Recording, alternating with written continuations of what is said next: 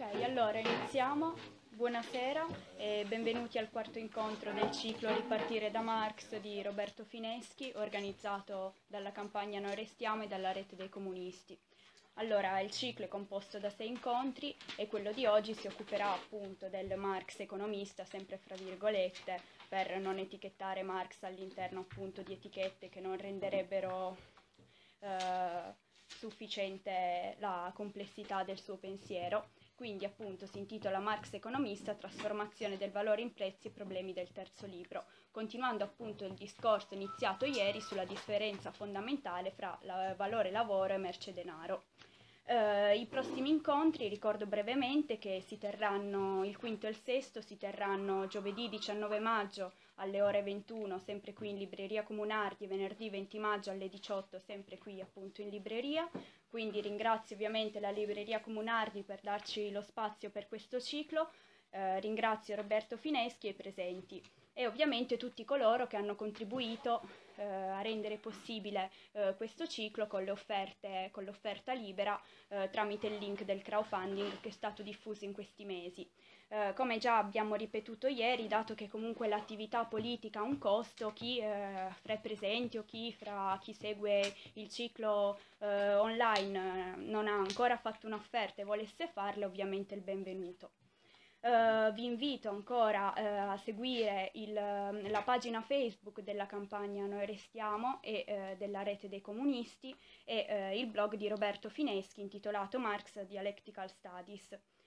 Um, inoltre possiamo ovviamente inviarvi le letture in preparazione agli incontri ehm, del ciclo per mail Uh, le mail a cui potete iscriverci sono norestiamotorino.gmail.com e rdc.torino.gmail.com uh, ehm, Bene, allora uh, credo di aver...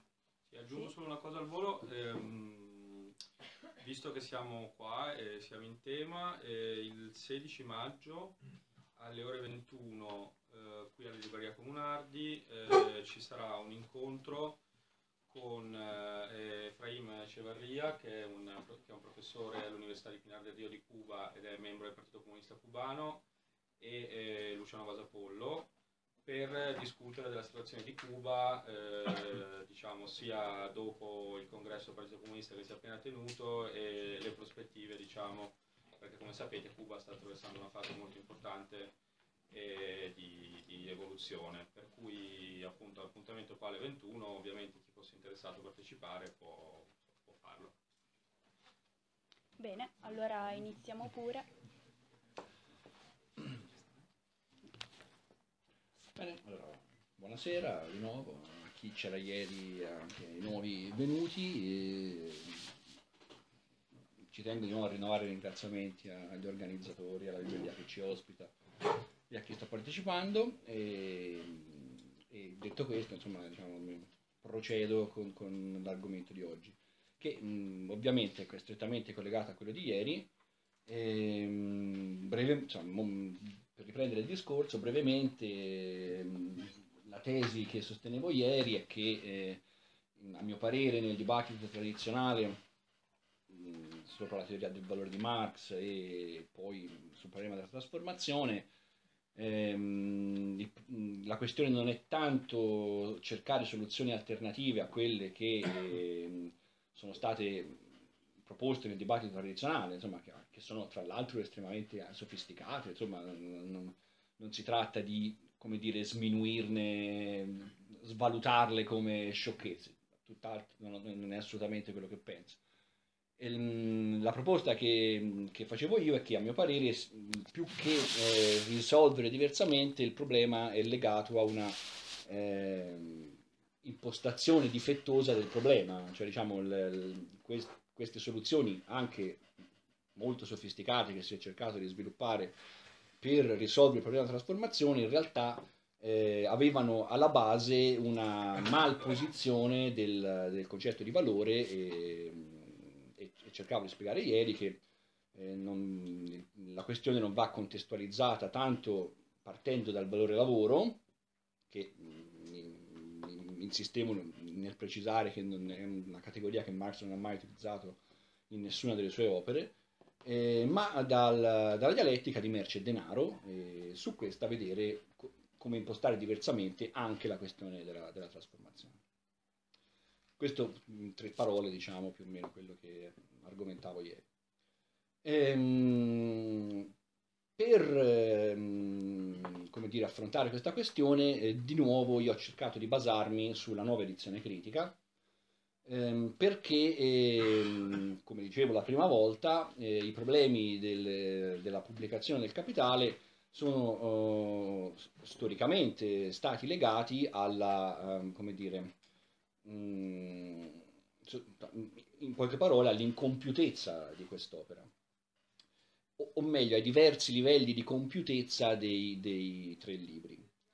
Eh, come dicevo sempre nel primo incontro, il, mh, quello meno compiuto eh, è proprio il terzo in realtà, eh, che com, viene dato alle stampe per ultimo, ma a cura di Engels eh, negli anni 90, ma ehm, in realtà eh, come stesura da parte di Marx eh, rispetto al primo, il secondo e il terzo è quello più, più vecchio, cioè quello che Marx ha meno rielaborato, perché la sostanza del diciamo, manoscritto principale su cui Engels ha lavorato è sostanzialmente l'ultima parte del manoscritto 63-65 e quindi andiamo indietro di quasi vent'anni rispetto all'ultima edizione del primo libro del Capitale che Marx, che Marx insomma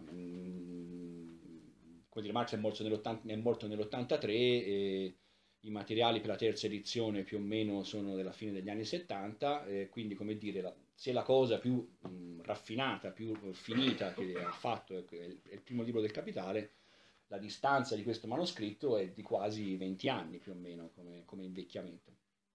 E, ehm, ripeto, ora non, non, è assolutamente mia intenzione tirare la croce addosso al povero Engels che eh, si trovò in una mh, situazione estremamente complessa perché aveva una, eh, um, molti manoscritti, per il, otto manoscritti per il secondo libro eh, e aveva sostanzialmente alcuni di questi più elaborati, insomma, come dire, aveva, Marx aveva cercato di scrivere il secondo libro, anche se non, non lo ha compiuto, però aveva provato con più insistenza a farlo, mentre per il terzo libro sostanzialmente dopo il 65 eh, un po' lo lascia da parte. Ci sono ulteriori manoscritti, ma come dire, non sono mai eh, riesposizioni complessive e sopra, sono manoscritti di breve estensione, diciamo, corti, che riguardano alcuni soggetti in particolare ma che diciamo con disappunto di tutti quelli che si sono occupati di questo tipo di problemi non parlano del problema della trasformazione, non parlano della caduta tendenziale, non parlano de, de, del credito, cioè non parlano de, delle cose che poi sono quelle che più sono interessate diciamo nel, dibattito successivo. E, ehm, e quindi diciamo il povero Engels si è trovato con questi manoscritti vecchi sostanzialmente, non non rielaborati, neppure aggiornati terminologicamente al, al stato di avanzamento del primo libro, e, e doveva pubblicare un libro compiuto. E nel far questo, diciamo, si può come dire, accentuare più o meno la qualità del suo lavoro. Secondo me ha fatto un lavoro abbastanza onesto, non ha fatto una cattiva edizione eh, però diciamo, i, i, problemi oggettivi legati a pubblicare come compiuto un libro che non è compiuto, già nel farlo, diciamo, già, già, nel dire che questo libro era pronto cioè, per essere pubblicato, che aveva come dire, l'autorizzazione di Marx alla pubblicazione, già solo questo sarebbe un, atto pesantissimo, perché se Marx non l'ha pubblicato evidentemente non, non riteneva fosse, fosse idoneo alla pubblicazione ehm, nel fare l'editore ha anche, ripeto, con la buona volontà di fare un libro compiuto, alcune parti le ha incisivamente compiute lui. In particolare ehm, la, alcuni interventi hanno poi pesato sulla ricezione del libro, eh, per esempio eh, anche nella questione della caduta del saggio tendenziale, eh, la caduta tendenziale del saggio del profitto, ehm, la frase in fondo e alla fine tenderà a cadere, il 90% delle volte c'era aggiunto Engels, non c'era nel, nel, manoscritto. Ma dove veramente, però vabbè, insomma, è, vabbè, è sostanziale, però come dire, dove proprio è intervenuto in maniera mh, massiccia è nella parte sul credito e il capitale fittizio. Ehm, lì sostanzialmente mh, ha proprio impedito eh, di capire che cosa voleva fare Marx perché in tutti gli indici che Marx eh, redige a partire dal 57 fino alla fine, l'ultima parte della teoria del capitale era sempre credito e capitale fittizio, capitale azionario, insomma aveva a che fare con questa tematica. E anche nel manoscritto il titolo dell'ultima parte è credito e capitale fittizio. Nella versione di Engels questo titolo diventa un titolo, cioè non è più il titolo generale di tutta questa parte, ma diventa un titolo accanto ad altri, accanto ad altre cose, ad altri capitoli, che in gran parte Engels si, si, inve- si inventa nel senso che li costruisce. C'era tutta una parte di questo manoscritto che Marx aveva significativamente intitolato di confusione, per dare l'idea quanto insomma, fosse chiara nella sua mente. In realtà era, era addirittura impaginata diversamente, insomma era sostanzialmente una raccolta di citazioni su, su, sulla tematica del credito che lui voleva rielaborare ma che poi non l'ha fatto.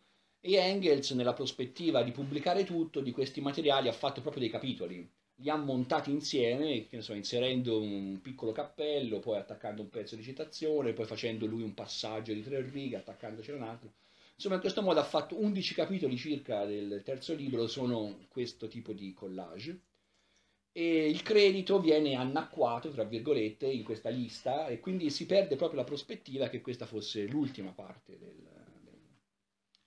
Comunque oggi non parlerò molto di questo, ma insomma mi sembrava il caso di, di menzionarlo, eh, perché comunque è utile nel, um, per diciamo, introdurre eh, il, il tema fondamentale che secondo me permette di ehm, considerare diversamente il problema della trasformazione, che è problema, la questione dei livelli di astrazione. Allora, ehm, che, cosa, che, cosa, si intende con livelli di astrazione? Diciamo, diversi, mh, le diverse fasi in cui, eh, attraverso le quali diciamo, Marx sviluppa la sua teoria, che sono diciamo tutte caratterizzate da alcune eh, clausole di astrazione. Diciamo, mh, mh, in, all'interno di un livello di astrazione l'analisi si sviluppa presupponendo che, diciamo, mettendo dei limiti al più complesso, eh, alla più complessa analisi della teoria che poi implicherà la rimozione di queste clausole di astrazione. Ehm, questo diciamo, si rifà a quello che nella, nella, tradizione è stato il dibattito sul cosiddetto capitale in generale e tra il rapporto tra capitale in generale e concorrenza. C'è vabbè, il celeberrimo libro di Rosdolsky, Genesi e struttura del capitale, poi successivamente in Germania ci sono stati altri autori che se ne sono occupati, non tutti sono tradotti. Ehm, perché diciamo, questo dibattito è importante e anche eh, ha conseguenze su come trattare il problema della trasformazione? Dunque, perché ehm, il, il, punto è qua, a quale livello di astrazione dobbiamo analizzare la trasformazione dei valori in prezzi. Ehm, dobbiamo considerarlo a livello del capitale in generale o della concorrenza? Questa è la questione di fondo. Ehm, Marx, nello, nello sviluppo, ne, nelle varie stesure della sua teoria, ehm, diciamo, cambia, adatta, mh, mm, ri, eh, rimodula questi livelli e questo nel, nel, manoscritto del terzo libro del Capitale avrà delle conseguenze significative. Che cos'è il capitale in generale, tanto per, per iniziare di lì? Nei, vabbè, qui Marx ha ancora nella mente le categorie hegeliane del, del, del giudizio e del sillogismo, perché nelle, nei primi indici che redige di questa, della struttura del capitale, ne Grundrisse addirittura ancora intitola Allgemein, insomma, universalità, particolarità, singolarità, che è la distinzione della, della teoria, e, in maniera diciamo un po', un po' schematica, tra virgolette, diciamo, questa partizione non, come dire, non riflette una, l'effettivo sviluppo della teoria, ma sono come dire, concetti che lui mette là per organizzarsi le idee e poi infatti scrivendola la teoria modificherà alcune cose che inizialmente erano diverse in questi indici iniziali. Il capitale in generale in questa prima formulazione era sostanzialmente l'idea era di vedere come un, qual è la dinamica di un, di un capitale che però era come dire un capitale tipico, vedere un ideal tipo del capitale che quindi anche nella sua individualità era generale, come diciamo se considerassimo l'uomo in astratto, che, che poi alla fine del capitale in generale eh, poneva i suoi presupposti e quindi poteva moltiplicarsi in molti capitali.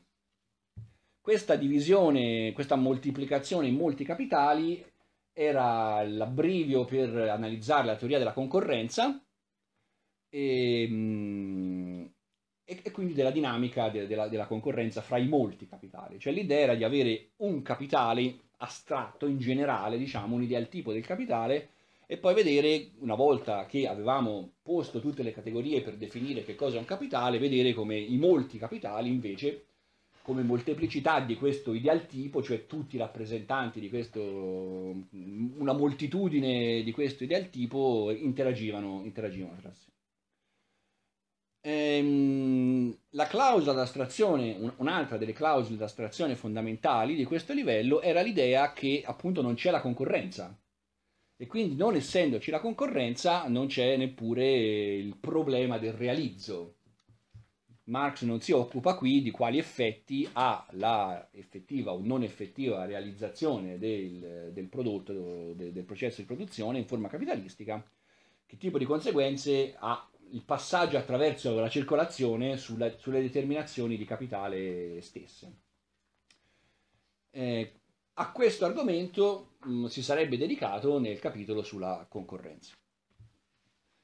Ehm, scrivendo il libro qui ci sono delle modifiche perché Marx in realtà cambia in parte idea, si rende conto che un capitale in generale deve immediatamente essere presentato come una molteplicità di soggetti, proprio, per, proprio perché? Perché c'è la merce, la merce è un prodotto per lo scambio e quindi di fatto il singolo capitale, non, come dire, per pensare le sue condizioni di riproduzione non posso non pensare anche le condizioni di riproduzione degli altri che gli vendono i mezzi di produzione. Quindi in realtà lui articola il concetto di accumulazione alla fine in due livelli, prima del singolo capitale, poi dei molti capitali, nella, negli schemi sulla riproduzione in generale. Insomma, diciamo, questo capitale in generale gli, gli, gli diventa enorme tra le mani, cioè, la maggior parte di quello che studia alla fine è questo capitale in generale, eh, che sarà già uno molti, che sarà già accumulazione, che sarà già riproduzione sociale complessiva, però comunque mantenendo l'idea che ancora non c'è la concorrenza. Praticamente anche negli schemi della riproduzione sociale complessiva Marx non studia gli effetti della concorrenza, anche se abbiamo molti capitali, ma studia ehm, sotto quali condizioni materiali e formali eh, quali condizioni materiali e formali saranno necessarie affinché la riproduzione possa avvenire ma gli effetti del problema della realizzazione delle merci ancora non sono analizzati. E, insomma, lo dice esplicitamente, ci sono dei passaggi sia nel primo capitolo quando parla dell'accumulazione, sia nei, nei schemi della produzione sociale complessiva, dice ancora non consideriamo questa cosa qua, la vedremo successivamente. L'evidenza di questo è che ancora non abbiamo il concetto di profitto. Il concetto di profitto si sviluppa solo a partire dal terzo livello che è la forma, diciamo, fenomenica in cui il plusvalore eh, si, si, presenta. Ehm, quindi, ehm, dove sta il problema della trasformazione? Il problema della trasformazione in questa, diciamo, per come poi eh, lo si presenta nel nono capitolo del terzo libro, Ora non so se avete familiarità con questi, con questi testi. Praticamente, e, e, e, se avete, vabbè, se avete, familiarità più in genere col problema della trasformazione, che io ho dato per scontato di sì, posso assumere che... Ho... Allora, allora, scusate, non, non ci ho pensato. Il problema tradizionale della trasformazione consiste nel, nel um, ritenere, come accennavo ieri, che tra il primo libro e il terzo libro c'è una contraddizione insanabile, perché eh, mentre nel primo libro gli scambi avvengono sulla base del valore, e questo e funziona, diciamo, poi non funziona più nel terzo libro dove gli scambi non avverrebbero più sulla base del valore, ma dei prezzi di produzione ehm, per come Marx imposta la, il passaggio dal valore ai prezzi di produzione, nel nono capitolo del terzo libro, ci sarebbe, insomma, per come la cosa è formulata nel dibattito tradizionale, ci sarebbe come dire un circolo vizioso per cui praticamente ehm, il modo che Marx utilizza per calcolare il profitto medio in realtà presupporrebbe già l'esistenza del profitto medio sostanzialmente.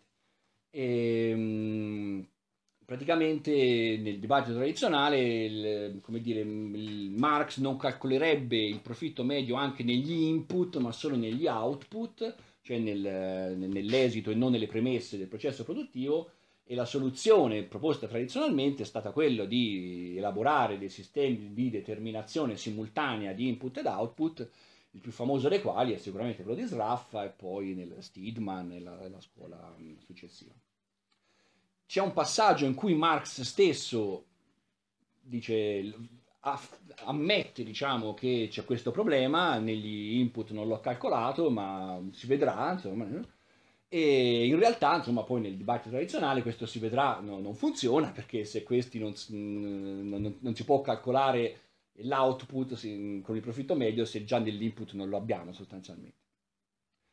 Ehm, e quindi, eh, ripeto, questa contraddizione insanabile implicherebbe che sostanzialmente tutta la teoria è fallace, perché è fallace nella sua spina dorsale, tra virgolette, e quindi insieme alla mancata, trasform- alla mancata trasformazione viene meno la teoria dello sfruttamento, insomma, diciamo, tutte le categorie che poi hanno anche una, un riverbero politico verrebbero a mancare. E quindi anche nel dibattito tradizionale il grande sforzo di mostrare che invece la contraddizione non c'era, come scopo non ultimo aveva legittimare la, anche la, la, il conflitto sociale. Ehm, diciamo, io ripeto, questo tipo di approccio secondo me, per come si è sviluppato, non, sostanzialmente non può essere altrimenti. Ci sono altri tentativi di risolverle in maniera più complessiva come la New Solution anche in Italia, Gattei per esempio è in sintonia con questa interpretazione. Ehm, ripeto, secondo me invece va reimpostata insomma è meglio impostata diversamente. E quello che stavo dicendo era per spiegare perché va reimpostata e come secondo me va reimpostata quindi diciamo tornando a, riprendendo il discorso che facevo eh, un accenno a come la trasformazione è impostata nel nono capitolo del terzo libro c'è Gianni Grundrisse. E, um, lì, qui sostanzialmente per calcolare il profitto medio quello che si fa è sommare tutti i profitti e dividerli per il numero dei capitali attivi, cioè te, sommare tutti i profitti dei capitali, dei capitali, attivi che saranno diversi perché hanno diversa composizione organica, eh, cioè hanno una diversa componente di eh, spesa in capitale e in forza lavoro e quindi produrranno una grandezza di valore diversa che sarà a sua volta un profitto diverso e quindi li, sommano, li sommiamo tutti, li dividiamo per il numero di capitali impiegati, abbiamo il profitto medio che poi sommiamo al, prezzo, al costo di produzione per avere il prezzo di, di produzione. Ehm, perché è interessante che già nei e Marx imposti l'argomento in questi termini?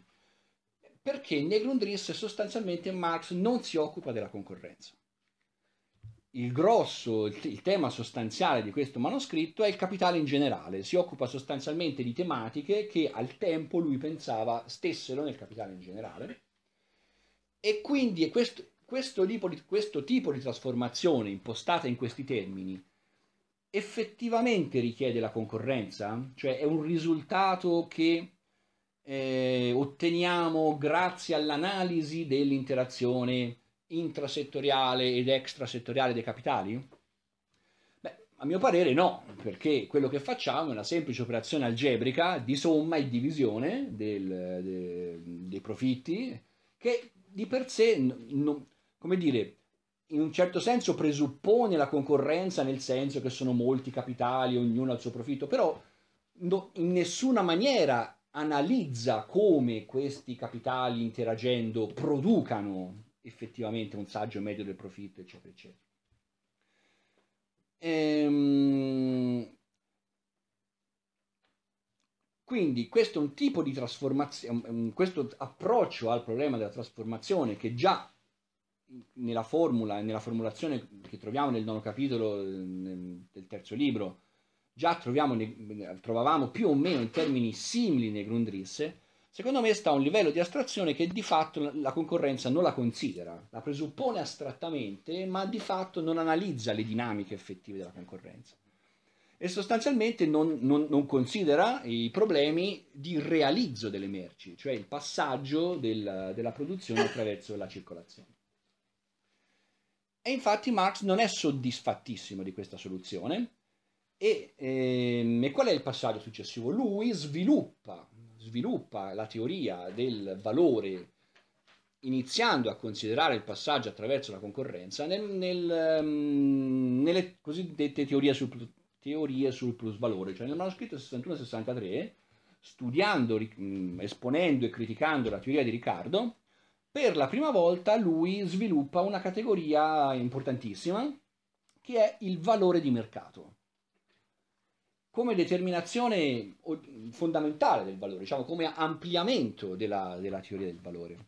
Che cosa implica il valore di mercato? Eh, per la prima volta, in, mm, come dire, è la ehm, mm, rimozione della eh, clausola di astrazione che avevamo nel capitale in generale, per cui presupponevamo che quello che si produca si realizzi, cioè che domanda e offerta praticamente magicamente, insomma, non magicamente, insomma, per, per astrazione siano per, com, com, combacino, e va a vedere qu- come la, il passaggio attraverso la circolazione ehm, determini conseguenze anche sulla determinazione delle grandezze di valore. E qui Marx insiste proprio sul fatto che se una cosa non è utile non ha valore, cioè se, il, se, la mia produzione individuale non è socialmente necessaria, anche se io ho lavorato x ore in, per la produzione di quello, queste x ore sono perse, non, non, non valgono come grandezza di valore. Perché di nuovo il, il crogiuolo della socializzazione è il passaggio in questo sistema di produttori indipendenti e individuali, è il passaggio attraverso la circolazione, la validazione sociale del, della mia grandezza di valore privata è lo scambio sostanzialmente. E, ehm, di nuovo, perché questo non appare anche nel primo capitolo del, del Capitale? Perché lì siamo ad un livello di astrazione per cui si assume che domanda e offerta combacino. Se io assumo che domanda e offerta combacino, il problema del passaggio attraverso la circolazione è sostanzialmente rimosso, è messo tra parentesi perché, eh, come dire, io ho la garanzia che quello che faccio è venduto, quindi automaticamente il mio lavoro individuale è socialmente necessario. Ma questo chiaramente è un'astrazione che non potrà essere mantenuta in eterno, perché eh, il modo di produzione capitalistico, proprio si, essendo un modo di produzione che generalizza al massimo la produzione di merci, merci, mercato è la stessa radice, insomma, eh, dovrà, la, la, la, socializzazione dovrà passare attraverso il mercato. Ma questo Marx lo dice più volte, anche nel primo capitolo, dice presupponiamo che tutto si realizzi. Quando si, si, si smette di presupporre questo, Marx si trova nel problema, co, come dire, a vedere come il passaggio attraverso il mercato e la mancata realizzazione incida sulla determinazione delle grandezze di valore, che è in genere uno dei dogmi che, che non si accetta nel, nel, marxismo. Perché qual è il, dire, il rischio e la critica che automaticamente viene? Che sia la circolazione a determinare le grandezze di valore e non la produzione. Cercherò di spiegare come Marx cerchi di non cadere, cioè di essere coerente con la sua idea, che è sostanzialmente la, la, la produzione di determinate grandezze di valori, però includendo il, il, il problema della realizzazione eh, come, come, elemento di questa, di questa trattazione. Ehm, allora, ripeto, nel, nel manoscritto 61-63 lui per la prima volta tira fuori il valore di mercato come nuova determinazione del valore, che non c'era prima. Ehm, e questo, dove, dove mettiamo, in quale livello di astrazione ehm, inseriamo la, la, la trattazione di, di, di, questa problematica? Evidentemente non possiamo metterla nel capitale in generale, perché lì la, la, la clausola d'astrazione era che domanda e offerta combaciassero. Allora dove lo mettiamo? Lo mettiamo chiaramente nella, nella, nella, nella concorrenza. Chiaramente, chiaramente, fino a un certo punto, perché alla, quando Marx finisce di scrivere questo manoscritto, nel 63, diciamo alla fine del 62, eh, redige un paio di indici del primo de, dei futuri primo e terzo libro. E scrive anche una famosa lettera a, a Kugelman, dove dice, dove fa un po' il quadro di cosa ha fatto e di cosa vuole fare. E a Kugelman dice sostanzialmente che mm, bah, finalmente ho capito come lo voglio fare. Eh, considerate che ha già scritto migliaia di pagine, che Grundrisse sono migliaia di pagine, che il manoscritto 61-63 sono migliaia di pagine. A questo punto le dice ho capito come scriverlo, e sostanzialmente mi occuperò solo del capitale in generale. Questo è quello che dice. Mi occuperò solo quello che gli inglesi chiamano principles of political economy e non, e non considererò la concorrenza, il credito e, e le altre categorie più, eh, più concrete.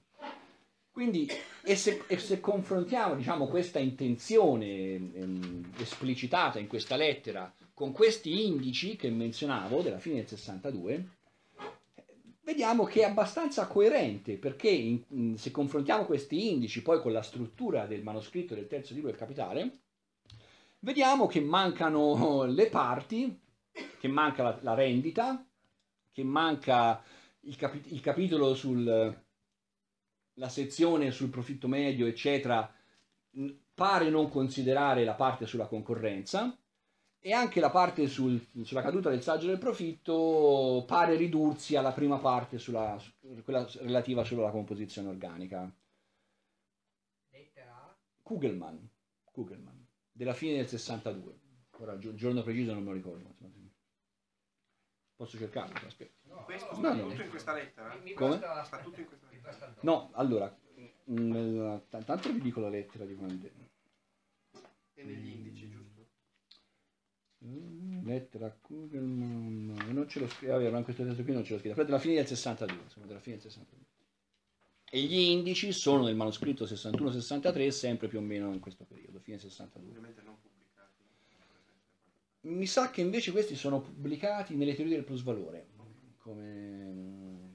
Comunque nel libro, quello giallo del PDF, lì ci sono i riferimenti precisi. Ok, quindi dicevo, praticamente quello che da, sia da come, eh, da, dal contenuto di questa lettera, da come redige questi indici, eh, pare che lui voglia occuparsi solo del capitale in generale.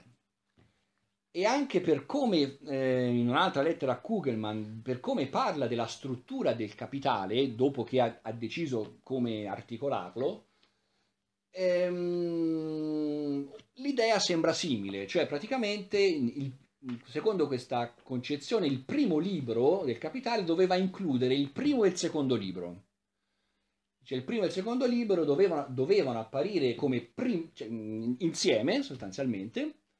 Il secondo libro doveva contenere il terzo libro, è un po' caotica però insomma... Eh, e poi il terzo libro doveva essere il libro sulla storia delle teorie questo prima che pubblichi qualcosa, anche questa è un'altra lettera a Kugelman del 66. E, ehm, e, quindi cosa sembra? Che il primo e il secondo libro, libro parlino dell'essenza, cioè della- dell'articolazione della teoria prima che si arrivi al profitto, sostanzialmente, alle forme fenomeniche, mentre il secondo libro, che sarebbe il terzo, doveva parlare delle forme fenomeniche. E lui, alla fine del 62, pensa che per fare questa cosa può semplicemente considerare il capitale in generale. Probabilmente il capitale in generale sarebbe alla fine la, la trattazione di questo. Escluderebbe la, la concorrenza, escluderebbe il credito e escluderebbe sostanzialmente la rendita. Ci sono anche, anche sempre in questo manoscritto del 61-63, dice sì, la concorrenza così è solo in astratto, diciamo, la, le- io qui ne parlo solo come illustrazione, usa proprio questa illustrazione e la mette in opposizione a Entwicklung, cioè allo, allo sviluppo. Entwicklung eh, significa la- la- l'articolazione teorica, diciamo, logica della struttura della- del capitale, invece illustrazione. E parla anche, in- sempre in questo periodo, in, in un paio di in una lettera ad Engels, della rendita come illustrazione. Cioè quello che sembra, come dicevo, maturare è che tutte queste parti, che poi invece saranno nel terzo libro, lui non ce le voleva mettere. O ce le voleva mettere come illustrazioni, cioè come parti, come appendici, parti accessorie che non riguardavano la struttura effettiva de- della teoria.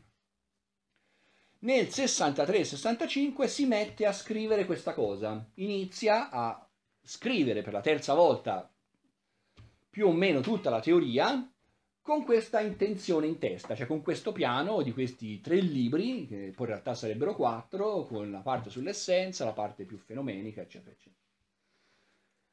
Ehm, qua- quali sono i, pro- i problemi? Quando lui si mette a scrivere il manoscritto del terzo libro, secondo me si rende conto che se vuole eh, esporre anche a un livello molto astratto, molto generale, il livello fenomenico del modo di produzione capitalistico, non può non considerare, almeno a grandi linee, la teoria della concorrenza. Non può non considerare, almeno a grandi linee, la teoria del credito. Non può non considerare, almeno a grandi linee, la rendita.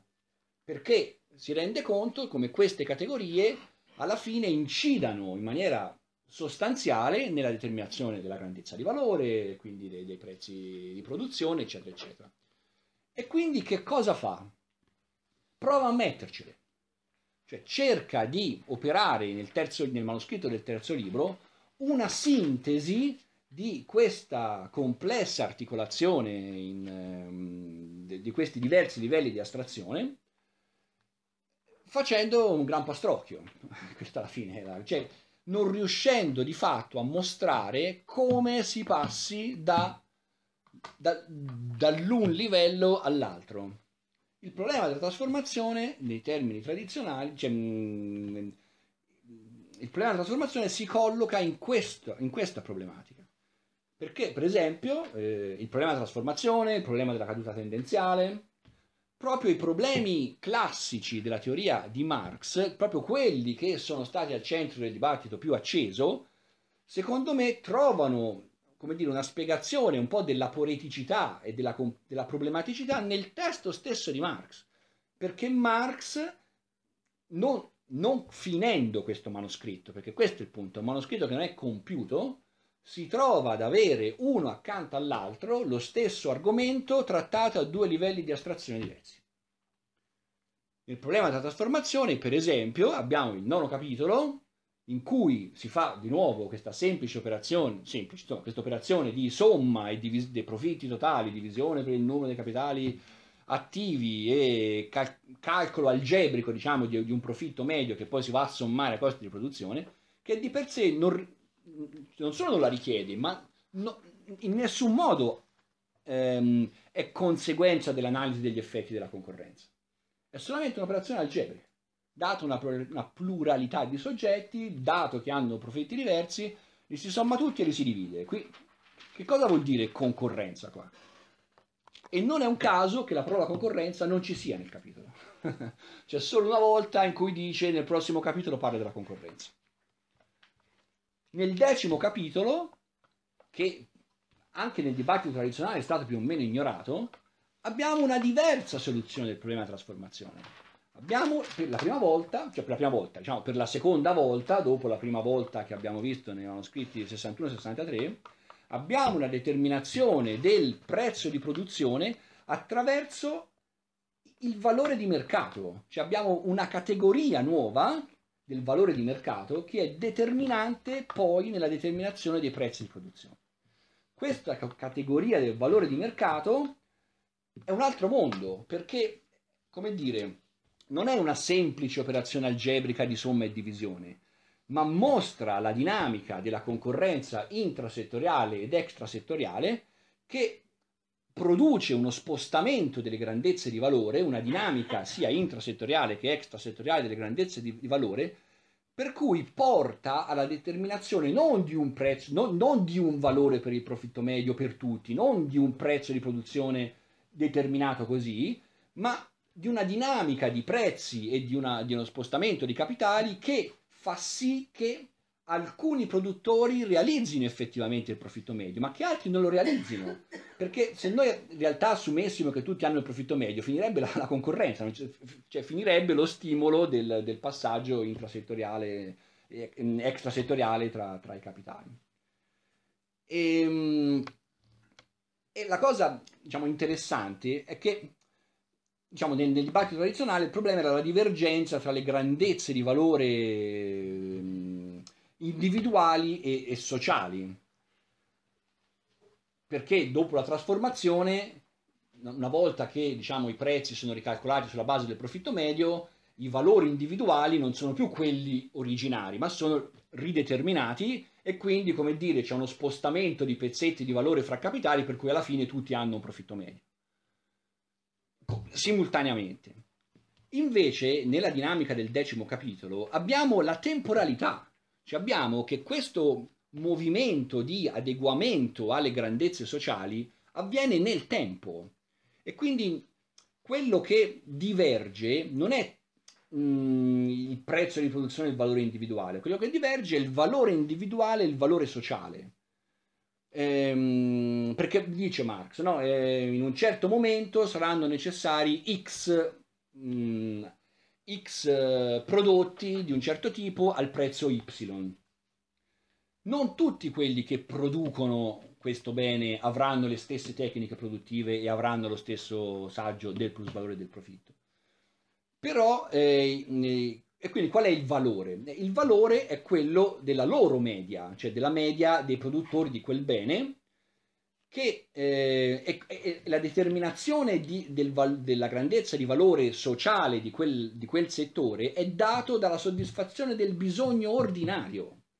Questa è un'altra cosa fondamentale che, che, che, si presenta a questo livello, cioè l'idea che ehm, come dire, esistano dei livelli di equilibrio eh, di produzione standard che modificabili nel tempo che danno la misura della grandezza sociale del valore.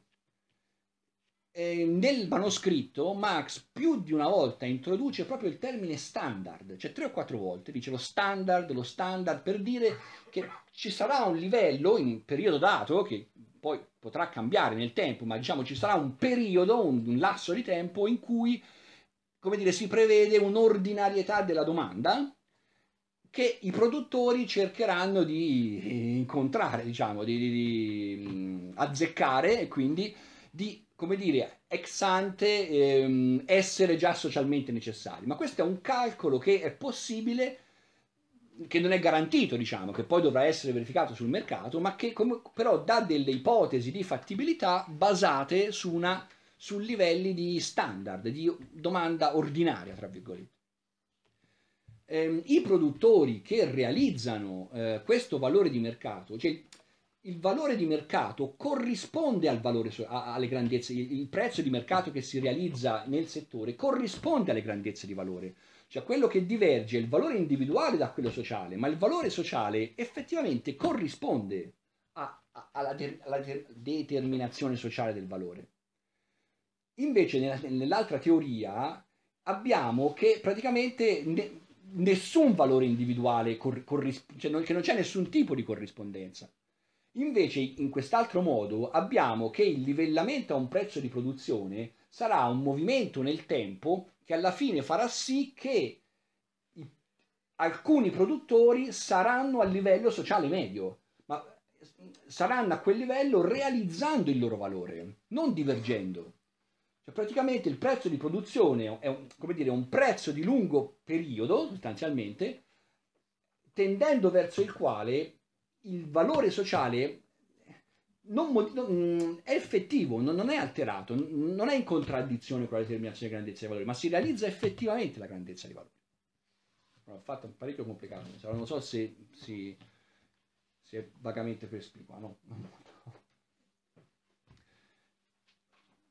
Quindi, voglio dire, la differenza, i, i valori e prezzi corrispondono alla fine, questo, questa è la cosa, il, il succo de- della frase, de- de- dell'argomentazione. Cioè, praticamente i valori tendenzialmente si spostano, ma realizzando sempre i valori sociali, quindi le grandezze corrispondono.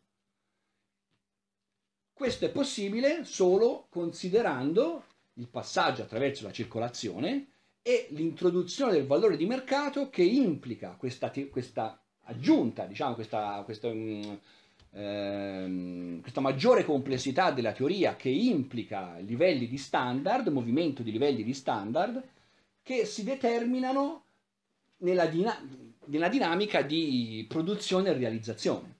Quindi nel lungo periodo sarà la- mm, dire, la- comunque la produzione a determinare qual è il livello della grandezza di valore.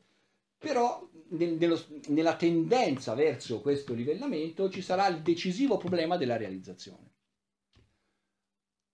Ehm, una critica possibile è dire che ci saranno fasi in cui di fatto qualcuno avrà un, un profitto ulteriore dovuto alla circolazione che non corrisponde a una grandezza di valore effettiva, diciamo, nei, nei- nei- nei passaggi tra, tra un settore e l'altro.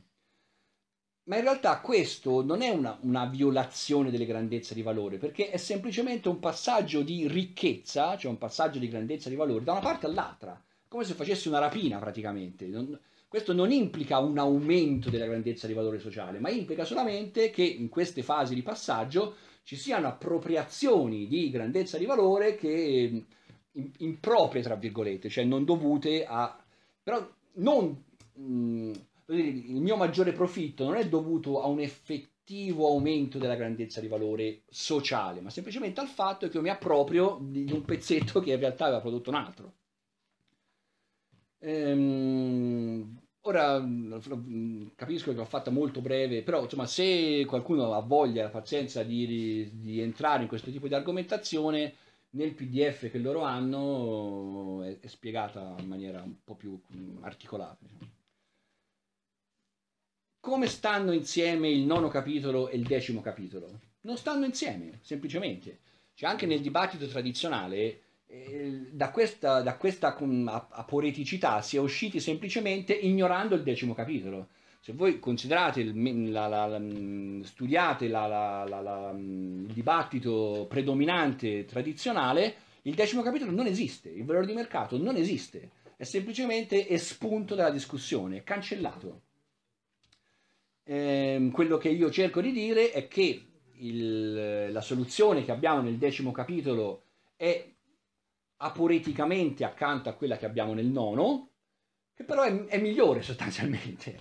Perché è migliore? Perché di fatto è più coerente con l'idea di fondo dell'inizio del, del capitale, del primo libro, cioè che la merce attraverso la circolazione ci deve passare, che la realizzazione del valore potenziale eh, av- avviene effettivamente nello scambio, che eh, la grandezza di valore si manifesta solo nel, nel suo specchio fenomenico del denaro e quindi solo nella loro unione effettivamente esiste questa, eh, que- questo, questo concetto. Quindi in questo modo si ha un approccio, diciamo, eh, potenzialmente una soluzione alternativa a questo problema, che allo stesso tempo non ignora le difficoltà storiche, che Perché dici migliore se i due livelli di astrazione non sono... perché non è contraddittorio, mentre l'altro è... No, rispetto ai due livelli di astrazione. Cioè, No, dico migliore nella prospettiva di, di una coerenza generale della teoria. cioè, scatta, scatta il livello di astrazione diciamo, il decimo capitolo sar- si, colla- si colloca a livello di astrazione della concorrenza, do- che effettivamente, a mio modo di vedere, è il luogo in cui quell'argomento va trattato. Trattarlo nel capitale in generale, di fatto, è improprio e il problema tradizionale viene fuori proprio da, da questo sbaglio, tra virgolette, cioè dall'idea che si possa studiare la trasformazione semplicemente facendo questa operazione algebrica di somma e divisione ehm, come è stato fatto sostanzialmente. D'altro canto eh, è evidente che, che anche Marx lo fa, cioè che anche Marx dà la bocca a farlo in questo modo. Io non sto dicendo che chi nel dibattito storico ha seguito questa strada se l'è inventata, non so, sarebbe, cioè, non, è, non è vero, insomma. E quindi eh, la, la, conclusione per quanto riguarda Marx è che questo punto è aporetico, cioè lui ha lo stesso argomento trattato a due livelli di astrazione diversi e non mostra come queste due cose stiano insieme. Però dal punto di vista invece mio, che voglio utilizzare la teoria di Marx, eh, io dico che eh, spiego perché c'è questa aporia, perché lui è indeciso su che cosa fare sostanzialmente, prima vuole fare solo il capitale in generale, poi decide invece di metterci anche un pezzo della concorrenza e non riesce alla fine a, a metterli insieme e, e dovendo io no, diciamo, scegliere che, mm, una pa- che, che, che, mm, dovendo io decidere quale parte prendere per cercare di andare avanti preferisco, cioè secondo me preferisco, è preferibile perché è più coerente con l'impianto generale di merce e denaro eccetera eccetera andare con il decimo capitolo, cioè ehm, vedere come le categorie della, grande, della, grandezza di valore e della forma di valore si sviluppano nella dinamica della, della circolazione delle merci nella forma della, della concorrenza, insomma, sostanzialmente. Eh, lo stesso tipo di problema, eh, però capite, se il, questo manoscritto è pubblicato come un libro finito, L'aporia è, un problema strutturale della teoria nel suo complesso, perché il libro è finito, io ho detto è compiuto, io ti dico è compiuto male, perché questo è aporetico e c'è questo problema e il tuo libro finito non funziona. Se invece abbiamo un manoscritto che eh, è a un livello di lavorazione cioè non primitivo, però diciamo, sicuramente non è compiuto, che eh, si colloca a un certo stadio dello sviluppo del lavoro di Marx, eccetera, eccetera, eh, queste aporie sono in parte presenti allo stesso Marx, infatti Marx non lo pubblica, e eh, per noi che vogliamo, come dire, far um, tirar fuori qualcosa dalla teoria di Marx per farne qualcos'altro, per, per svilupparla, diciamo, tra virgolette, secondo, secondo me è preferibile e, e, perché è più coerente con l'impianto complessivo, andare nella direzione del, del decimo capitolo. Sostanzialmente cercare di sviluppare queste parti più concrete, la concorrenza, poi anche il credito, eccetera, eccetera, ehm, proseguendo il lavoro di Marx sostanzialmente, cioè vedere se è possibile andare avanti in, in, per questa strada. Lo stesso tipo di problema si presenta nel, nel, nel, nella teoria della caduta tendenziale, dove abbiamo una prima parte in cui sostanzialmente è spiegata sulla base della, dell'aumento della composizione organica del capitale. E anche qui di fatto la concorrenza volendo non serve a niente perché io posso fare delle ipotesi che anche in caso di realizzazione totale di quello che viene prodotto, comunque la composizione organica si modifica. Quindi non ho di nuovo bisogno della concorrenza e non è un caso che questa parte sia già Grundrisse. Già Grundrisse abbiamo un primo abbozzo del, del problema del, della caduta tendenziale sulla base della, della, della, modificazione della composizione organica, anche se ancora non è chiamata così. Ma perché? Perché lì di nuovo si parla solo del capitale in generale, la concorrenza non c'è. Nel terzo libro abbiamo questo pezzetto e poi abbiamo la parte dopo, quella sulle controtendenze, eccetera, eccetera, in cui di fatto Marx si mette a studiare una, un abbozzo di teoria del ciclo. E, e facendo questo, chiaramente, hai problemi di realizzazione, hai problemi di passaggio attraverso il mercato. E di nuovo queste due parti stanno una accanto all'altra nel manoscritto, senza una effettiva mediazione. E, e, di nuovo sono lo stesso argomento che dicevo prima perché eh, lui cambia idea, cioè decide a un certo punto di considerare anche questi altri aspetti e mm, non, non- diciamo, non riesce a dare una, una sistemazione finale. Qui rientrerebbero le controtendenze. Sì, sì, tutta la... Cioè nella seconda Sì, sì, già una parte dove poi, dove poi, insomma c'è anche il discorso sulla contraddizione fondamentale del capitale, eccetera, eccetera. Credito e capitale fittizio, eh, e questa è tutta una parte che eh, prevede la- i problemi di realizzazione. E, e lì in, in- in quello diciamo che secondo me si può estrapolare come esposizione più coerente, anche se è molto frammentaria, eccetera, eccetera, è il tentativo di vedere come l'accumulazione reale interagisca con quella fittizia e quindi come questo poi abbia conseguenze sul saggio di interesse, eccetera, eccetera. Però di nuovo anche questo è un argomento che di nuovo implica il passaggio attraverso la, la circolazione sostanzialmente. E quindi ehm, secondo me la via, d'uscita e la ripresa di un dibattito su questi temi eh, non è tanto nel eh, trovare nuovi modi per, per risolvere la cosa tradizionale, perché la cosa tradizionale, a mio modo di vedere, va a finire dove è già finita. Non c'è da inventarsi niente di nuovo, le possibilità sono quelle. Secondo me invece appunto si può mostrare partendo dal manoscritto, cioè dallo stato non compiuto dell'opera, vedere perché ci sono stati questi problemi e la mia risposta a questo è la problematica dei livelli di astrazione, lui si trova ad affrontare questa problematica in una maniera che non riesce a risolvere, quindi il carattere aporetico della soluzione e quindi possibilità, possibilità di risolvere alternativamente questa cosa partendo da merce e denaro e quindi necessario passaggio attraverso la circolazione, eccetera, eccetera, per poi andare avanti. Quindi, come dire, non è mm, senza la pretesa di dire che gli altri hanno sbagliato, senza la pretesa di dire che il dibattito tradizionale è tutto sbagliato perché non ci ha capito niente. No, il dibattito tradizionale si è basato su oggettivi dati che si possono estrapolare dalla teoria.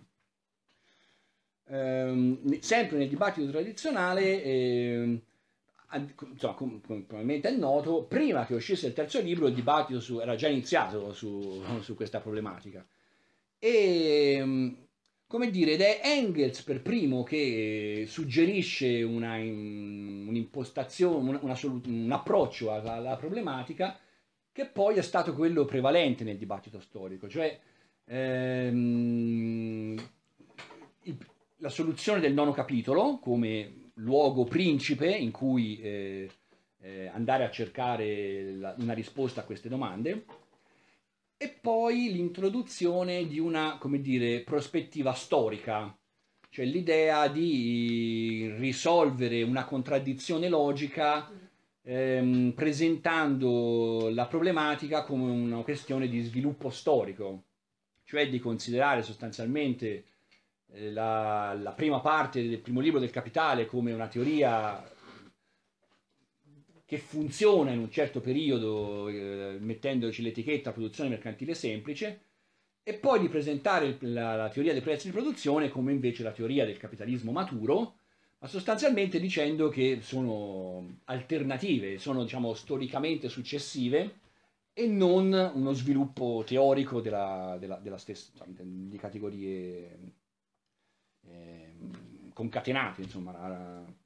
ehm, questo, diciamo, poi anche nel dibattito dei critici su Marx è stata considerata cioè, la famosa critica della teoria del cancelletto, no? che era di, di- di, mm, il monetarista, come si chiama? Di, di- di- Mises. no, no, no, è quello di Chicago. Ah, Prima- sì, sì, sì, sì, scusate. Che dice prima eh, esponiamo come funziona la teoria del valore nel primo libro, poi prendiamo un cancelletto, la cancelliamo tutta e facciamo quella. cioè, come dire, era completamente la, sia, in- sia che la mettiamo storicamente, sia che la mettiamo come incoerenza, alla fine non serviva a niente, perché poi alla fine facevamo un'altra cosa, avevamo la teoria dei prezzi di produzione sviluppata in maniera diversa. Invece, secondo me, in questa impostazione alternativa si può mostrare come sia una, una relazione logica e come stiano insieme sostanzialmente eh, senza contraddizione. Vabbè, sì, ah, finito.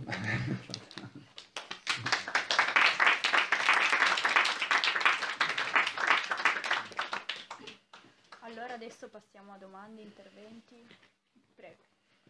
Io avevo una domanda, effettivamente ho letto il terzo libro e mi è accorso che eh, il concetto di valore di mercato diperiva naturalmente dalla distribuzione.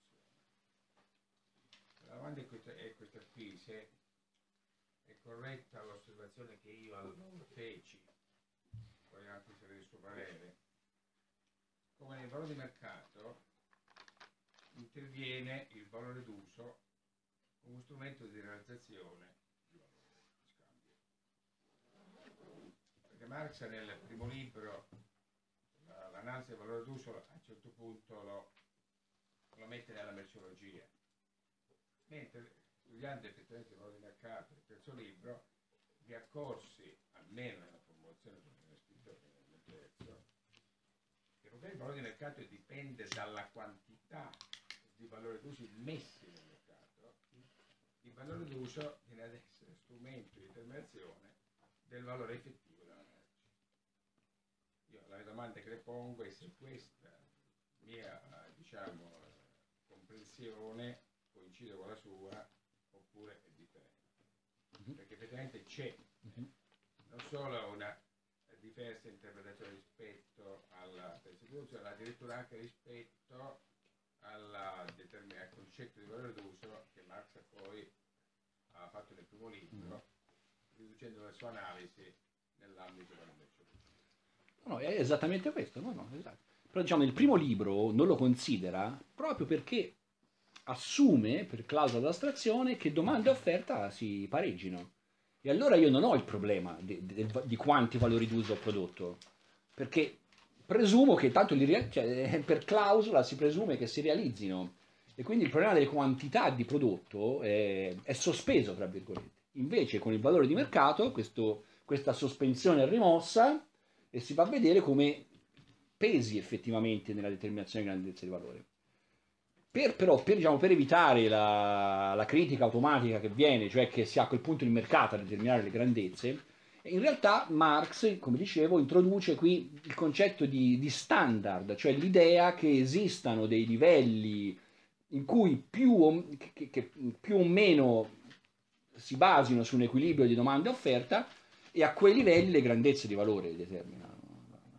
Quindi però sì, insomma, sì, penso... sì. Però mi sembra che anche, scusi, anche nella di persecuzione si cerca una, una, una, diciamo una soluzione al problema. Quando eh, si delinea, quando viene affermato che il prezzo di, di produzione di una merce è determinato dalla produzione di combustione organica media Mhm, mhm.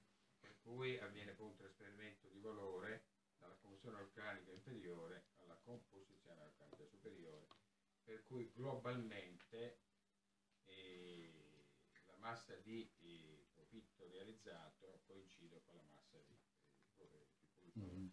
Effettivamente sono d'accordo con lei che nella teoria di persecuzione non interviene lo scambio. Ma anche, anche il decimo capitolo produce, risulta nei prezzi di produzione. Cioè, non è che il decimo capitolo non è una teoria dei prezzi di produzione, è una teoria alternativa, secondo Sì, me. però ecco. io per- quando l'ho letto dicevo, ma qui è un'altra cosa. Che Il concetto di valore di mercato è distinto, è diverso dal concetto dei prezzi di produzione. Diciamo, no, la dinamica dei valori di mercato fa sì che alla fine si produca una media delle medie. E la media delle medie è il prezzo di produzione. Che è veramente un valore sociale medio di intra e extra settoriale. Però non è lo stesso dato per tutti contemporaneamente, è un processo di adeguamento nel tempo, eccetera, eccetera. Io volevo dire, eh, chiedere due cose. Sul valore di mercato, eh, lei parlava prima di realizzo, eh, essendo tutto realizzato a primo volume, del valore di mercato non se ne parla. Mhm. Ma per parlare di valore di mercato, realizzarsi, perché il valore di mercato, come l'ho detto io, in realtà è che effettivamente diversi capitali producono diverse quantità di valori d'uso e chi produce più valori d'uso impone diciamo che la freccetta della grandezza di valore si sposta maggiormente verso eh, colui che produce più valori d'uso. Questo è un po' eh, difficile spiegarlo, che ci vorrebbero degli esempi matematici, però eh, che non sempre il capitale più produttivo produce più merci e se un capitale meno produttivo produce più merci, nonostante che ha meno macchinari, però produce una quantità fisica di più merci, il valore non è il valore della prima sezione, ma si sposta la lancetta verso il valore del, eh, del produttore, diciamo che produce comunque più merci di quantità. Quindi in quel caso comunque la realizzazione ci sarebbe sempre il valore. Per esempio io mm, eh, nella mia lettura ho fatto la distinzione, semmai non c'è realizzo eh, completo, posso parlare di prezzo di mercato invece di valore di mercato dal punto di vista linguistico. Però ehm, secondo me ecco, nel valore di mercato comunque tutto può essere realizzato. Sì, può. È, è funzionale, Ma ecco, la- quello non- È il può che è la chiave. può, ma non può. Quindi non è detto che tutto quello che è prodotto individual- privatamente diventi sociale. E non è detto che questo anche nel valore. però. No, certo, però nel valore si presume che tutto sia venduto. Non è, quindi non è può. Nel, nella- nel capitale in generale non si dice può, si dice si realizza, si assume che tutto si realizzi. Invece il può implica che si possa o non possa, insomma. Al- seconda cosa, sui prezzi di produzione, in, realtà mi sembra che Marx lo dia, in in realtà lo dà all'inizio per dato, che si deve arrivare ai prezzi di produzione, Mm. nel senso che c'è stato un dibattito prima di lui sui prezzi di produzione, Mhm, lo riprende mhm. Cerca, eh, secondo me, poi di adattare tutto il sistema suo Mhm. di valore ai prezzi di produzione. Mhm. Infatti eh, ogni tanto, eh, cioè, sarebbe stato meglio in passato, non so, eh, riguardare alcuni economisti precedenti a Marx sulla questione, come la trattavano, anche per avere meno problemi eh, nel capire loro come la calcolavano. Perché per Marx, eh, adesso mi sembra Torrens sia un economista per un riferimento sulla questione, lui aveva già trovato i prezzi di produzione in modo empirico, in modo diverso da Marx.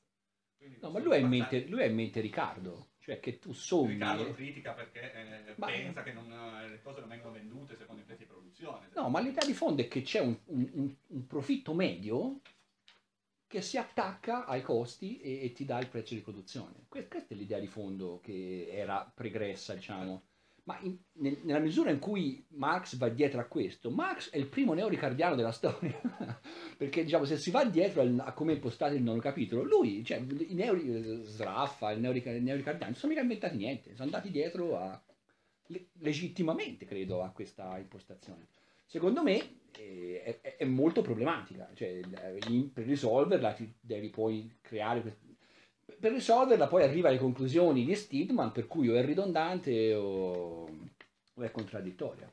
Invece, e, e- e tra l'altro, come dire, perde anche di praticità, perché non è mica vero che nell'economia reale abbiamo un prezzo di produzione, un, un profitto medio, abbiamo una miriade di profitti e di prezzi di produzione, di, di- di valori di mercato che proprio in quanto diversi, in quanto danno diversi saggi del profitto, implicano poi effettivamente la dinamica eh, della concorrenza. Quindi voglio dire, andando dietro al decimo capitolo, secondo me si guadagna anche in, come dire, in eh,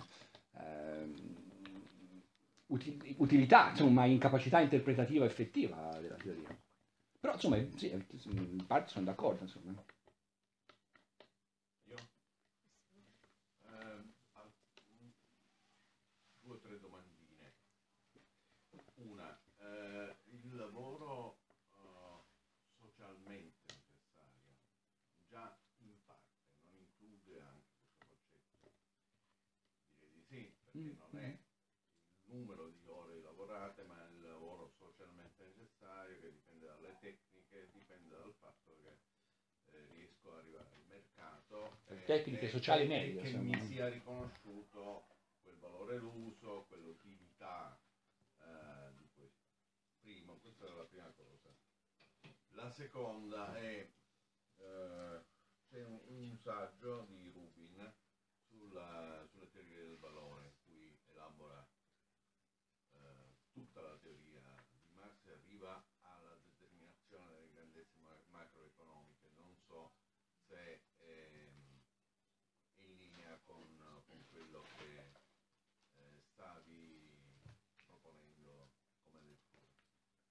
cosa è questa. La, la teoria della concorrenza si può dire che è stata sviluppata da Schumpeter poi alla fine, cioè con uh, il concetto dell'innovazione, del uh, grado di monopolio, del processo tendenziale che porta però a zero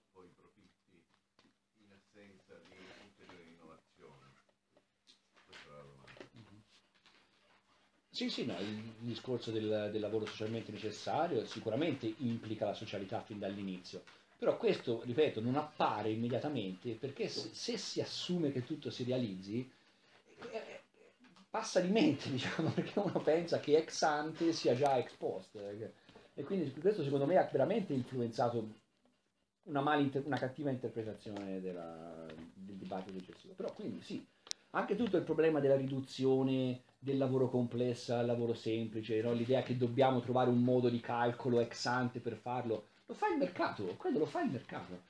C'è un passaggio che finisce solo nell'edizione francese, che Marx aveva scritto per il primo capitolo, in cui dice questa riduzione avviene tutti i giorni sul mercato. Quindi è molto crystal clear. Ehm, ora le altre questioni sarebbero mol- molto complesse, insomma meriterebbero diciamo una, un- quasi una conferenza a sé. Diciamo con Rumi in parte sì, in parte no, ci sono dei distinguo e lo stesso direi con, con Schumpeter, però insomma sarebbe un discorso che ci porterebbe lontano. Però diciamo una delle, delle cose che secondo me in questa maniera si può fare è veramente vedere come il dibattito, su come si possano digerire, tra virgolette, contributi successivi in una prospettiva molto più aperta rispetto alla, a, co- a come è impostata tradizionalmente. Ecco, però poi eh, un- un'ultima cosa, cioè il discorso della concorrenza, no? La concorrenza in realtà porta a zero il, il profitto. La libera concorrenza. Diciamo, il discorso è che anche la, anche la dinamica della concorrenza, sia, no, ma a livello pur- puramente teorico. eh, diciamo, nella teoria di Marx la, la concorrenza avviene poi effettivamente a un livello più concreto nel- nella teoria del ciclo e quindi andrebbe eh, ricontestualizzata in, quell'ambito lì. Quindi eh, accumulazione, distruzione, ripartenza, insomma, diciamo, non è questi livelli di standard sono standard nella dinamica complessa del ciclo e che quindi si determinano anche come grandezze, anche includendo i cataclismi della crisi, del...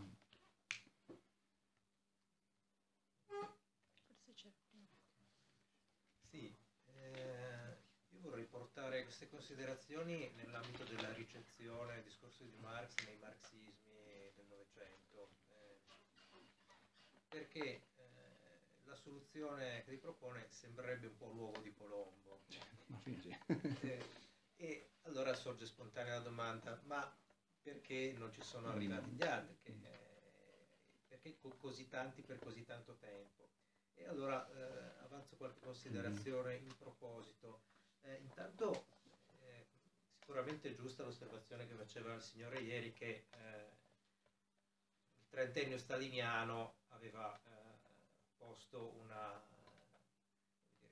un- di fatto un non luogo a procedere eh, per cui eh, c'era un problema politico, però eh, sia pure con ambiguità, e- e- e non in completa discontinuità con eh, l'ortodossia dei partiti comunisti ufficiali, dopo il 56 perlomeno un grande dibattito si era avviato. E eh, quello che mi sembra interessante è diciamo, il non detto che sta dietro la non risoluzione del problema. In particolare, chi mi conosce sa che vado regolarmente a battere lì, ma lei non l'ha ancora sentito dire, l'esempio di Colletti, Mm. Per cui l'impossibilità di dimostrare matematicamente la conversione dei valori in prezzi diventa la prova che il marxismo non è scienza e il presupposto per l'abbandono eh, anche politico de- della militanza eh, comunista. Perché eh, questa sembrerebbe una, una prova evidente di quella che eh, Costanzo Preve chiamava il riorientamento gestaltico, quando si vede qualcosa non più come quel qualcosa ma come qualcos'altro, per cui eh, andava bene eh, Marx visto in un certo modo, ma se poi non si riesce più a vederlo attraverso la lente dell'esattezza scientifica, se vogliamo usare l'espressione della Volpe, che Colletti fu maestro, il galileismo morale, cioè quello per cui quello che viene detto deve essere dimostrato, ma allora sorge il problema di con quali strumenti deve essere dimostrato, cade, cade tutto l'edificio. Eh, secondo aspetto, torno indietro rispetto al Novecento, la ricezione di Marx presso Engels, perché verrebbe il dubbio che a questo punto forse Engels avrebbe fatto meglio a intervenire in modo più deciso sul- sui manoscritti, per esempio scegliendo di pubblicare un testo che includesse il decimo capitolo e non il nono. Eh, ora, ehm, questo anche credo ponga dei problemi di ricezione e di come si trasforma la ricezione addirittura nello stesso Engels. Eh, io ricordo di aver letto un, un articolo di Backhaus, in Mhm. italiano fu tradotto sulla rivista Marx 101 una trentina di anni fa, in cui andava proprio a mettere eh, il dito sulle diverse mh, prefazioni, alle diverse edizioni del Capitale, dimostrando che eh, si passava, lo stesso Engels difendeva il metodo cosiddetto logico e poi nella prefazione successiva passa invece al metodo cosiddetto logico storico, cioè dimentica, sembrerebbe dire, Che è la recensione per la critica dell'economia politica, non la prefazione. eh, sembrerebbe come voler dire Marx è morto, non, può- non ha più quel contatto, eh, Mm. così, e dimentica vent'anni dopo quello che sapeva già vent'anni, vent'anni prima.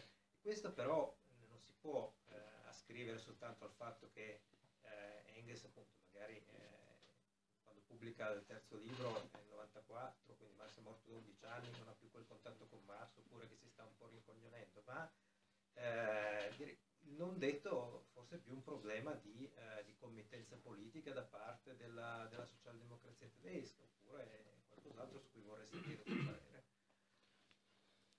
Dunque, ehm, diciamo, partendo da Engels, allora, Engels, questa recensione del logico storico, questo discorso del logico storico, lo mette sul tavolo, ora, se non ricordo male, nella recensione per la critica dell'economia politica. Quindi Marx l'ha visto. E secondo me mh, allora non faceva così tanta specie come ha fatto poi successivamente nel dibattito, perché non lo so, diciamo, se... Vabbè, insomma, però poi insiste anche, per esempio, anche quando Marx scrive quella famosa postfazione per i non dialettici, Engels anche lì suggerisce fai una cosa più storica, fai una cosa più... e lui invece non, non la fa, insomma fa comunque una cosa... Diciamo, Engels secondo me ha delle responsabilità nella ricezione di come è stato recepito questo, proprio il problema della trasformazione, perché lui per primo l'ha inteso nei termini del nono capitolo principalmente, cioè quando mh, spiega ora tutto, non mi ricordo se nella prefazione al terzo libro o in un altro passaggio, però insomma scrive proprio letteralmente che si vedrà o, se, o si vede insomma finalmente che la soluzione sta nella somma e divisione, cioè lui sponsorizza per primo il, il, la, la, soluzione del nono capitolo, da una parte, e dall'altra sponsorizza la, questa lettura storicistica, tra, no, storicistica, no, non è corretto, di periodi che le due parti della teoria appartengano a due periodi storici. Quindi diciamo, perché l'ha, probabilmente l'ha intesa così, lui ha, ha, inteso il testo di Marx in, in questa maniera e, e, l'ha indi, e, l'ha indirizzato in quella maniera lì. Quindi questo secondo me è un elemento del dibattito, perché il dibattito tradizionale si è concentrato più sul nono che sul decimo, perché Engels il riflettore l'ha acceso lì sopra, ma il riflettore in realtà era già acceso lì sopra, perché quest'idea di un profitto medio da sommare costi di produzione quest'idea della somma, della somma dei costi, è l'idea che c'è in Smith, che c'è in Riccardo, è come era impostata tradizionalmente. E, e, quindi, come dire, l'orecchio del, dell'economista era sensibile a questo, più a questo tipo di approccio piuttosto che a un approccio dove c'è la forma di valore che è il polo in forma di equivalente che, che fa la funzione insomma tutte le arzigogolerie hegeliane probabilmente all'orecchio di un, di, un, di uno studioso cresciuto in un terreno economico sicuramente suonavano meno familiari rispetto a, a questo tipo di lettura. Prego. Però possiamo dire che è una lettura perlomeno simpatetica col paradigma evoluzionistico che stava prendendo eh, Quella di Engels? Eh, sì, quello di Engels. Sì, sì, è sicuramente, probabilmente, ora io non mi sbilancerei così tanto, però insomma sicuramente reminiscente di... di- Ma l'altro problema è che Engels, proprio per il- la- la- i legami che aveva con la, con la socialdemocrazia tedesca, eh, stava inevitabilmente utilizz- mh, pres- proponendo la pubblicazione di questo testo anche come un, una- un successo politico, cioè come e quindi pubblicare un testo incompleto, eh, aporetico, che tra l'altro era aporetico rispetto a critiche già formulate prima che uscisse, il testo doveva rispondere, cioè il testo che usciva doveva, come dire, sciogliere i nodi e, e quindi doveva essere finale sostanzialmente. Tutto questo secondo me ha contribuito a, a- a quella piega là, perché quel- però, ripeto, nel dibattito tradizionale, perlomeno insomma, in quello prevalente, il decimo capitolo veramente non esiste, è rimosso completamente da- dal... Quindi, insomma, come dire, come, come io riconosco che è possibile andare in quella direzione, non si può non riconoscere che si può andare nell'altra. insomma. Ehm, che altro non, non sto rispondendo. Sì, è chiaramente, cioè, però ecco, se si va nella direzione che dico io, secondo cioè, il tentativo è di dimostrare che funziona scientificamente, cioè nel senso che non- mm, funziona in virtù, cioè è legittimo utilizzarlo in virtù che- del fatto che è coerente, che, che quindi d'altra parte secondo me si può anche capire che come dire, se questa id- ideologia, questo grande movimento politico è basato su eh, il valore scientifico di un'opera che poi alla fine risulta essere contraddittoria, cosa che io non penso, però diciamo facendo il ragionamento dall'altra parte, insomma, perché è così legittimo abbandonarla alla fine? Cioè, se non funziona, perché dovrei alla fine fossilizzarmi su... Io, secondo me, entro, cioè, pur considerando tutti i limiti che ho detto, funziona. Quindi è legittimo cercare di andare avanti, insomma. D'altra parte non è l'unica scienza, perché la fisica si muove su due binari conciliabili, che è la meccanica quantistica. eh, Sì, sì, vabbè, insomma, avete un discorso più, più ampio. È. Tra l'altro, empiricamente è stato già ampiamente dimostrato che la legge della caduta tenden- tendenziale soggeprofitta è confermata. Sono studi, insomma, di notevole spessore che hanno analizzato il scorso capitolo mondiale dimostrando come eh, la legge nei grandi nei lunghi cicli la legge della caduta tendenziale soggeprofitta è ampiamente confermata. Non lo so che c'è. Ma guarda. Sì, dunque io mi chiedevo invece se l'approccio di Vygotsky nella sua introduzione Grundrisse eh, fosse stato tenuto in considerazione anche da lei. Ah, ecco, Da lì lì c'è vengo. un di dedurre proprio dal valore anche le categorie più... Sì, sì. No, no, da lì vengo, da, Ah, ok.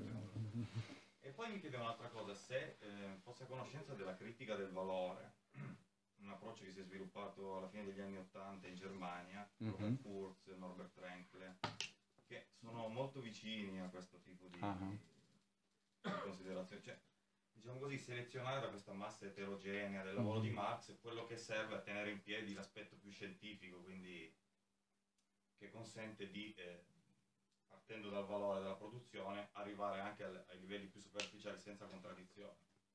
Sì, sì, segnato, sì, sì. insomma. Grazie, sì, sì, grazie. Mi chiedo se veramente è produttivo cercare di trovare dire, un'applicazione così minuta e precisa scientifica di quella che a questo punto si rivelerebbe un'economia, una scienza economica marxiana, mentre il progetto scientifico di Marx era diverso, era quello di fare una critica dell'economia politica. Ora l'economia politica in quegli anni era, nella, era, era, era un ambito di profonda rivoluzione, perché Marx costruisce il primo libro economisti classici, i quali avevano formulato un'economia politica come scienza di governo, cioè come una scienza che doveva fornire al, al principe strumenti per governare la società. E Marx dice, a partire da questo io dimostro che la società è ingovernabile perché è dentro una contraddizione, dico così eh, per semplificare. In, in quegli anni le, le, le, sta maturando la rivoluzione marginalistica, mm-hmm. sono i primi segni il meccanismo di concorrenza diventa una nuova scienza di governo che affida al mercato la regolazione di tutto il processo.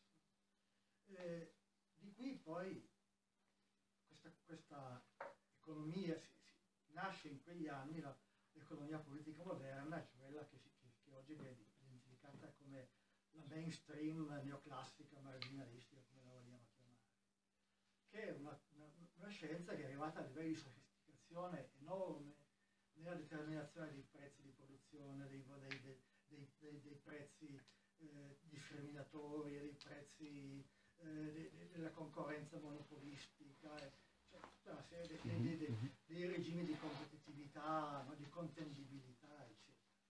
Allora, se uno volesse riprendere il programma marxiano, deve affrontarsi non formulazioni di un Marx che cercava di diventare economista per reggere le, le obiezioni che gli venivano dalla realtà concreta, ma di prendere il suo eh, dire, progetto fondamentale, cioè di vedere co- come in base all'idea di dover criticare l'economia politica, cioè dire che l'economia politica non è una scienza esatta, ma è un sistema di regolazione di una società che per una parte della società è nemica operaia o comunque chi non ha il potere è una società nemica.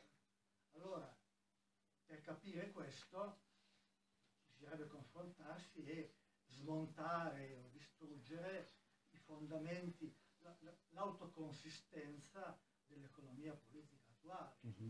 Eh, ad esempio, eh, a me molto colpito alla, eh, dopo la, la, la crisi l'esplosione della crisi del 2007 che gli economisti sono riuniti a Trento a dire cosa non abbiamo capito e la formulazione è stata no, non abbiamo, non, non abbiamo previsto niente perché certo tutti avevano previsto, avevano visto che c'erano delle contraddizioni che rischiavano di diventare esplosive, ma il nostro compito non è solo questo, il nostro compito è trovare la medicina.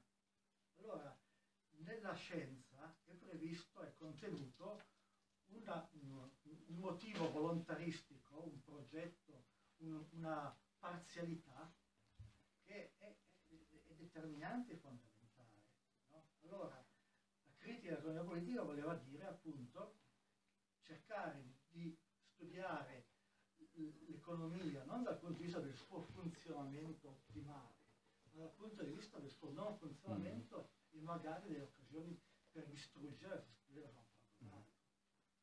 Quindi io voglio dire, ha senso tutto questo ragionamento minuzioso sui valori eh, allora, secondo me sì, perché diciamo dire che il progetto di Marx della critica dell'economia politica è vero ma è parziale, perché in realtà Marx a un certo punto dice questo sarà il sottotitolo, il titolo è il capitale, quindi Marx sviluppa una teoria economica, non una critica, cioè che implicitamente sarà una critica, ma sul fatto che lui sviluppi la sua teoria del capitale, secondo me non ci sono molti dubbi. Ehm, questo gli servirà per fare la critica, ma non è che pone degli argomenti sul tavolo solo per criticare gli altri che sono funzionali a questa critica. Secondo me questo è proprio chiaramente esplicitato nel passaggio a critica dell'economia, ehm, dell'economia politica sottotitolo il capitale come titolo. Proprio per questo motivo e proprio perché secondo me le, la, la, diciamo, eh, le conseguenze di carattere generale, di lunghissimo periodo, che, che questa elaborazione permette di formulare, sostanzialmente sono molte veritiere, la mondializzazione, la, ehm, l'aume- l'aumento vertiginoso della produttività del lavoro, diciamo, sono tutte previsioni di lungo periodo che questa teoria ha effettivamente spiegato. E quindi secondo me ha senso cercare di vedere, chiaramente, lei ha perfettamente ragione nel dire che, quella- che quello che è venuto dopo è estremamente sofisticato, eh, però vedere in che misura come dire, la critica di questa nuova economia politica sia digeribile, tra virgolette, in questo sistema, perché questo sistema, secondo me, eh, ancora oggi fornisce uno strumento di conoscenza efficace. Questo, insomma, almeno come la vedo io, poi chiaramente, liberissimi di fare altrimenti. No, ti volevo fare una domanda per sapere che cosa ne pensavi rispetto a un tema secondo me molto poco preso in considerazione in Marx, che è il concetto di tempo.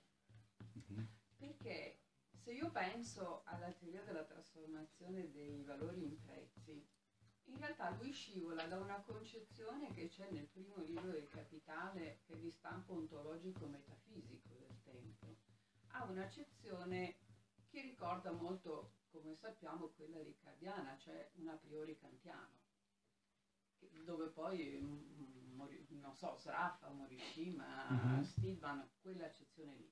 Gli economisti, se lui dovesse prendere dentro bene la concorrenza, il credito e la rendita, il tempo diventa una categoria invece epistemologica, cioè tre modalità completamente diverse.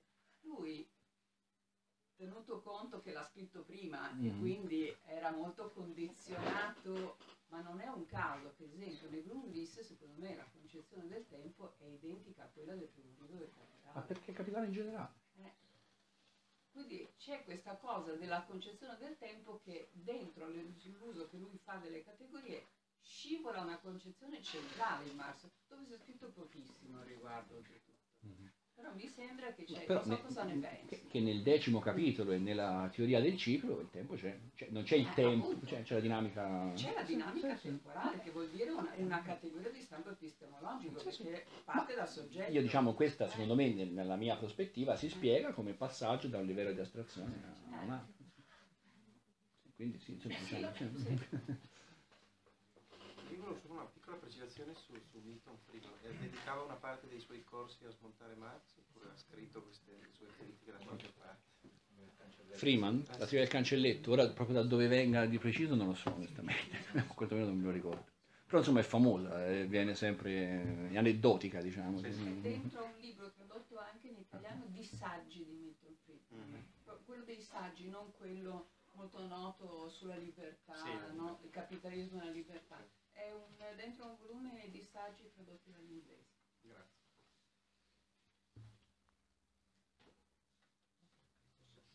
Ah, forse c'era prima... Un po' sì, sì, sì. Cioè un po' sì, insomma. Sì, Okay, ähm, posso chiedere sì, sì, sì. però più forte perché sennò non sento. Sie,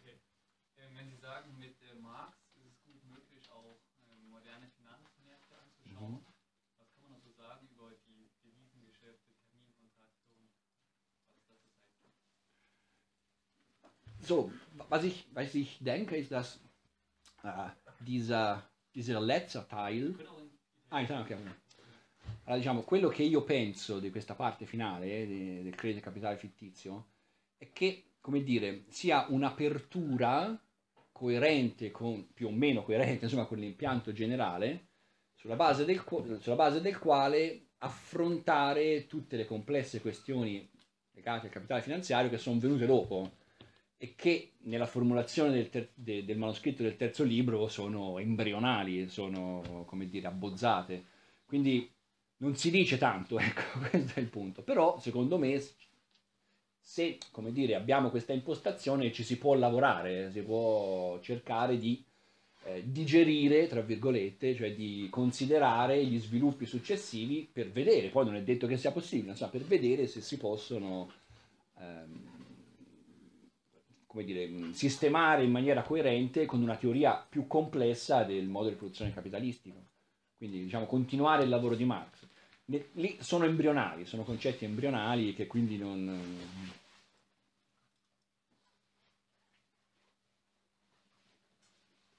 Poi c'era... Tu hai una- Sì, non è, non è particolarmente anche originali. Non mi fare domande sui polacchi perché No, non vabbè, niente. niente polacco, polacco, promesso.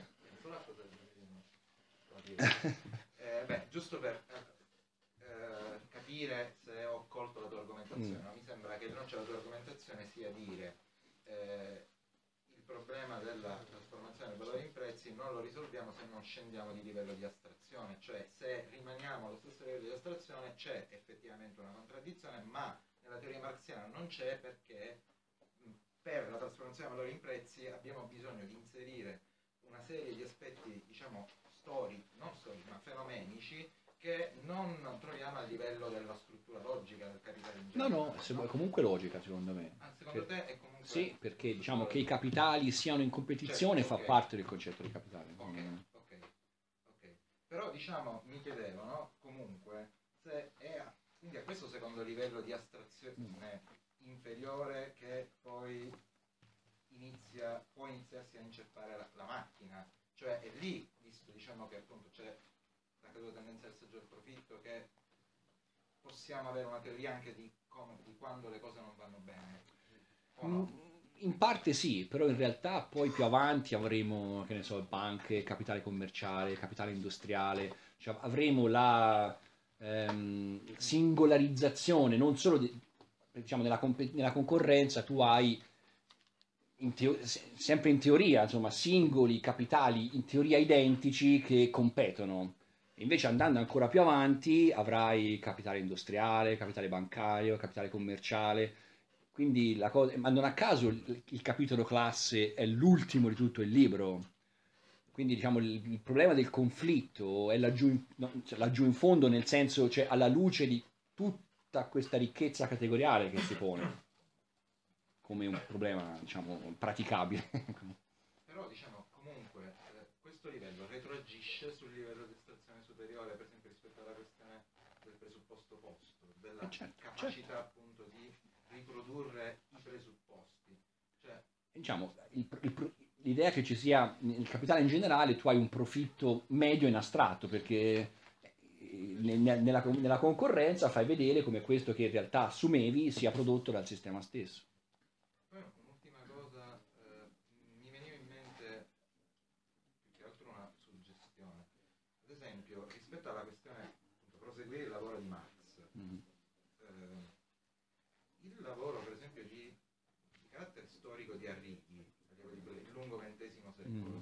può andare in questa direzione, in cui se non ricordo male, insomma, lui diciamo parla a un certo punto della, della questione che eh, gli aspetti legati alla finanziarizzazione intervengono proprio quando la concorrenza chiaramente rende eh, complesso realizzare il profitto medio, quindi diciamo a un certo livello di maturità si passa al ciclo denaro-denaro e quello però implica poi una crisi di quel ciclo, di, quel- di quella fase di, di accumulazione del passaggio a una fase superiore, quindi dal modello olandese, quello inglese che incorpora gli aspetti militari, poi quello statunitense che incorpora la produzione.